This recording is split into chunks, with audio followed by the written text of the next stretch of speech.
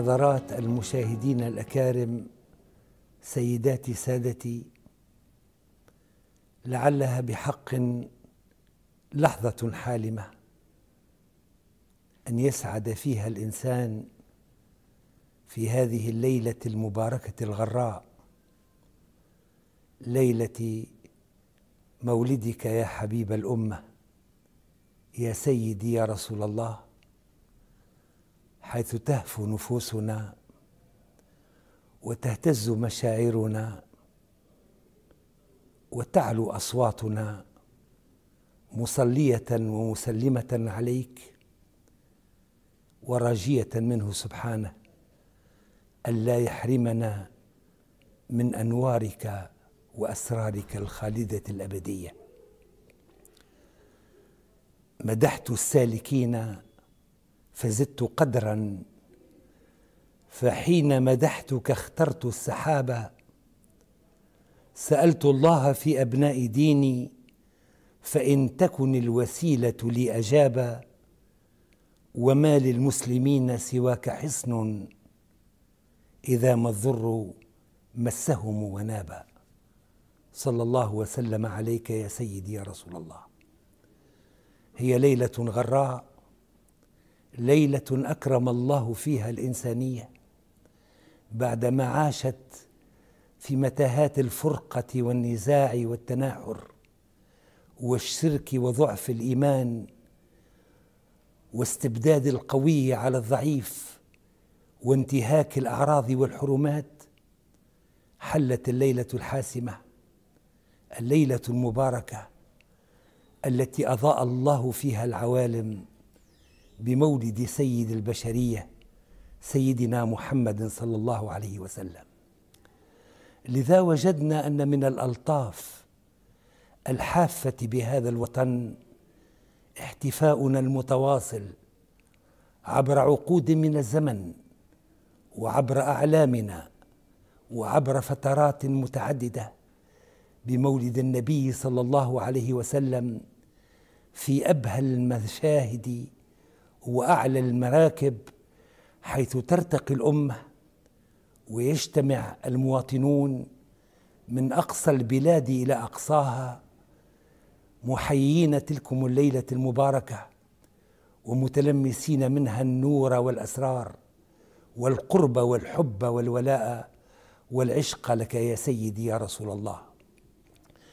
لذا وجدنا علماءنا يعتبرون أنه أي يوم أسعد من يوم أظهر الله فيه للعالم مولودا كان المنقذ من الضلالة أخرج الناس به من ظلمات الشرك ومناقص الجهالة. واعتبر علماؤنا أنه مما جرب من بركته صلى الله عليه وسلم أن الاحتفال بيوم مولده أمان في ذلك العام. وبشرى لمن فعله بنيل المرام. ولعل الألطاف التي حفت بوطننا وتحف به إن شاء الله حاضرا ومستقبلا عائدة إلى عشق هذا الوطن وعشق هذا الشعب التونسي الأبي لرسول الله صلى الله عليه وسلم وتلمس أن يحفنا الله بألطافه وأنواره من خلال إعطاء هذا الموكب ما يستحق من العناية والتبجيل.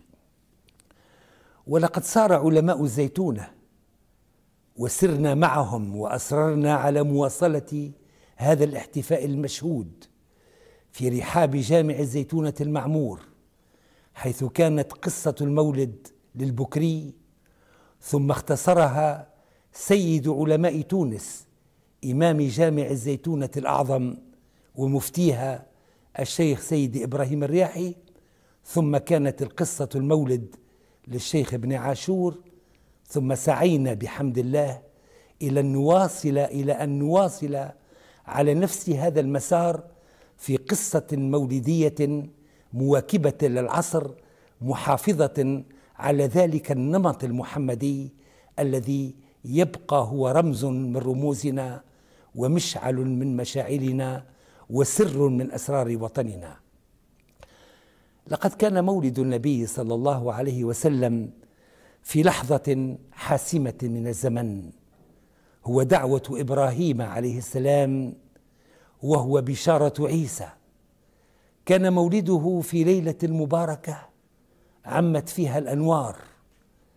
عبرت عنها السيدة آمنة فرأت الأنوار من حولها ومطلع النبي صلى الله عليه وسلم سيبدو في هذا الوجود. ولما أعلم جده عبد المطلب وكان في الكعبة المشرفة بمولده المبارك سماه محمدا فقيل لعبد المطلب لما سميته باسم ليس لأحد من آبائك؟ قال لأني أرجو أن يحمده أهل الأرض كلهم. ومما يدعم هذا المسار أن النبي صلى الله عليه وسلم وقد ولد يتيما لم يعرف والده عبد الله ولم يعايش السيدة آمنة إلا لسنين قلائل. فكان صلى الله عليه وسلم في ملامحه في أنواره ومنذ طلوفته ومنذ طفولته مثال التألق ومثال الأمانة. ومثال الأمل هذا الأمين رضيناه. شب النبي صلى الله عليه وسلم وكانت السورة التي عبرت عن هذا المعنى بشكل جلي في قوله جل علاه والضحى والليل إذا سجى ما ودعك ربك وما قلى وللآخرة خير لك من الأولى ولسوف يعطيك ربك فترضى. ألم يجدك يتيما فآوى ووجدك ضالا فهدى ووجدك عائلا فأغنى. هي العناية النبوية العناية الإلهية بالنبي صلى الله عليه وسلم من حيث شمول العناية.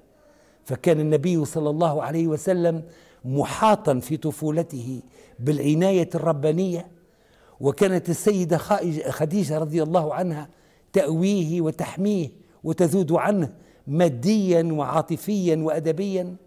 وكان صلى الله عليه وسلم منذ طفولته يبحث عن الحقيقة.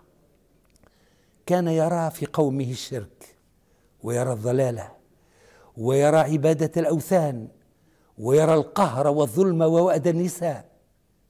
فكان يتأمل يبحث صلى الله عليه وسلم عن الحقيقة التي هو التي هي متجسم متجسمة ومجسمة في المولى سبحانه وتعالى وكان عندما يسير عليه الصلاة والسلام يسمع مناديا يناديه يا محمد أنت رسول الله. إذا كان مولد النبي صلى الله عليه وسلم والجدير بأن نحتفي به احتفاء كبيرا. أنا وجدت في علماء الزيتونة وجدت عدد هنا عندي للمجلة الزيتونية أثار انتباهي هذا عدد عجيب جدا يدل على عناية علماء الزيتونة بميلاد النبي صلى الله عليه وسلم حيث خصصوا عددا في سنة 1937 لميلاد النبي صلى الله عليه وسلم. ومن عجيب ما رأيت فقرة أنا من عادتي لن أقرأ لكن هنا سأتوقف عندها حضرات المشاهدين لأهميتها لقلم تحرير المجلة. ماذا يقول؟ تعطي صورة كأنه يتحدث اليوم. يقول شاعت الضلالة وعمت الجهالة وطغت القوة على الحق وفشت عبادة الأوثان ونمى الشرك وتعددت الأديان وتعزز الناس بالعصبية والنزعة الطائفية وتهافت الناس على القتال وزال الاطمئنان من النفوس وانتهكت الحرمات وتنوعت المعاصي والموبقات فصار العالم كدليل دامس تراكمت ظلمته حتى كاد لا يرجى له إصباح أو كبحر لجي تلاطمت أمواجه. هذا البحر إن شاء الله ربي يسلم اشقائنا أيضا سواء في المغرب الأقصى الشقيق حيث أصيبوا بهذا الزلزال الذي هز الكيان. قلوبنا مع إخواننا نسأل الله لهم العافية والشفاء وأن يجمع شملهم مجددا ويعيد بناء وطنهم. وكذلك أشقائنا في الحبيبة ليبيا. في ذلك السونامي العجيب الذي أصابهم هز الوطن وهز القرى وهز المدن. فنحن نسأل الله أن يلطف بنا وبهم ويلطف بالأمة العربية والإسلامية والإنسانية قاطبة إنه سميع مجيب. واصل. هذه هي الحالة التي وصل إليها البشر. هي حالة منذرة بالخطر العظيم والخطب الجسيم. إلى أن يقول فأراد الله تعالى أن ينقذ البشرية مما آلت إليه واختار أن يكون إنقاذها. على يد رجل عربي من أرفع العرب بيتا وأعلاهم مقاما وأشرفهم عنصرا ومحتدا فظهر الرسول الأعظم سيدنا محمد صلى الله عليه وسلم فأشرقت العوالم بعد ظلامها وتبسم الزمان بعد عبوسه. فكانت الساعة التي ولد فيها رسول الله صلى الله عليه وسلم ساعة الفصل بين الحق والباطل والانتقال من الظلمة إلى النور فكان بحق رحمة للعالمين. في واقع الأمر حضرات المشاهدين عندما نرى هذا الثراء في علماء الزيتون الأبرار وهذا السبق وهذا الاحتفاء المشهود بمولد رسول الله صلى الله عليه وسلم هو في واقع الأمر احتفاء نحتفي به في بيوتنا. ونصلي فيه على رسول الله صلى الله عليه وسلم ونلقن أجيالنا وشبابنا معاني المحبة ومعاني التسامح ومعاني التضامن ومعاني بناء الأوطان. أنا كم تألمت عندما استمعت منذ أيام قلائل إلى بعض الناس يدمرون أوطانهم بأيديهم. سكة حديدية سبحان الله. تدمر بلادك. الناس يبنون أوطانهم. أين الإسلام؟ أين الإيمان؟ أين التضامن المحمدي أين الأخوة؟ أين المؤمن للمؤمن كالبنيان يشد بعضه لبعضا؟ كيف الإنسان يدمر بلادي بلاده؟ يعني يحول بينها وبين التقدم. يوقف مسيرتها يلوث شوارعها يلوث أبعادها ويلوث أفكار شبابها حتى يتحولوا إلى أداة للدمار لا اداه للبناء. النبي صلى الله عليه وسلم بنى الأوطان. في المدينة المنورة نشر المحبة بنى المسجد ليعلم الناس أن الإسلام هو للبناء للهدم. فكم نتألم عندما نرى في أوطاننا الإسلامية اليوم أيدي شباب الأمة يدمرون أوطانهم بأيديهم يخربون بيوتهم بأيديهم فاعتبروا يا أولي الأبصار. هذه المعاني هذه المعاني التي نستخلصها ونحن نستحضر ميلادك يا حبيب الأمة. يا سيدي يا رسول الله يا من تعلقت قلوبنا به وكم نسعد بطلعتك المباركة وكم نسعد بالعمل بسنتك وكم نسعد بأريحيتك وسماحتك وكم نسعد بالأبعاد التي بنيتها في صحابتك وكيف علمتهم الأخوة وعلمتهم التضامن لذا فإن الاحتفال بالمولد النبوي الشريف لا يكون احتفالا شكليا. نعم نحتفي ونعمر بيوتنا بالفرح وبالابتهاج وبالصلاة على رسول الله صلى الله عليه وسلم ونعطي لهذا الموكب ولهذا المولد ما يستحقه من الجدارة وما يستحقه من العلو. ولكننا أيضا علينا أن نعتبر علينا أن نبقى لحظة تأمل مع أفكارنا مع عقولنا حتى نعود إلى الجادة نعود إلى الإسلام الحقيقي إسلام الصفا إسلام النقاء إسلام بناء الأوطان إسلام جمع الشمل الأمة واتحادها حول بناء أوطانها. يا أكرم الخلق جئنا يوم ذكراك والقلب بالحب والإخلاص ناجاك. نهوى مدينتك الزهراء يدفعنا. وجد وشوق وتحنان لرؤياك. كان اسمها يثربا من قبل هجرتكم. وأصبحت طيبة من بعد لقياك. كانت كسائر بلدان الدنا فغدت.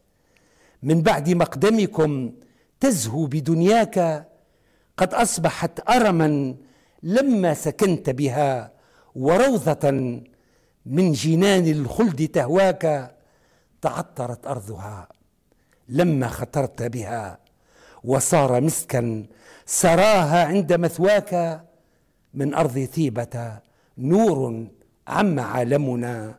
بشراك يا عالم الإسلام بشراك إننا في هذه اللحظات المباركة التي نجدد فيها العهد معك.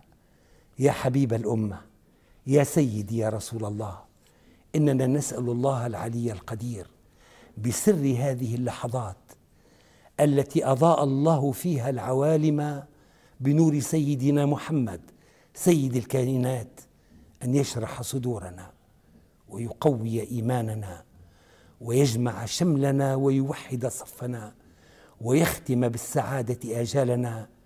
ربنا آمنا بما أنزلت واتبعنا الرسول